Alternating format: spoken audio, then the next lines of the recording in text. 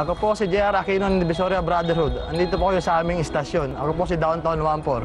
Hali po kayo, pakilala ko po yung pamilya ko.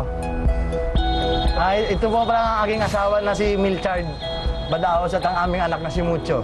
Kami po ang Aquino family. Ang pagiging firefighter po, nasa peligro po talaga ang buhay. Pero pag kayo po ay nakakatulong sa kapwa, napakagaan po sa pakiramdam. Kung bibigyan po kami ng chance na pumili ng iba pang gagawin aside sa pagiging pagbombero, siguro pipiliin pa rin po namin ito. Kasi iba po talaga yung nabibigay na kasiyahan at kagaangan sa loob. Nakakatulong ka sa ibang tao. Opo. Nagkakilala po kami dito sa isang gathering, dito din sa fire station. Nag-date-date kami ulit, tapos after one month ulit, naging kami na. After six months, nag-decide na kami magsama and then, nabuo si Mucho. Mucho.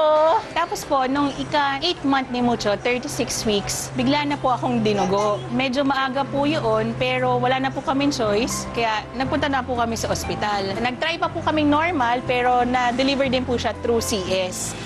Ang baby mocha po namin, medyo malikot, pero super lambing. Very active po and gustong-gusto niya maging bombero din. Ito pong chance na nabigay sa amin para po makapaglaro. Ito treasure namin buong buhay. After, actually, af- after po kami sa experience, para po sa aming dalawa at lalo na po para sa aming little boy.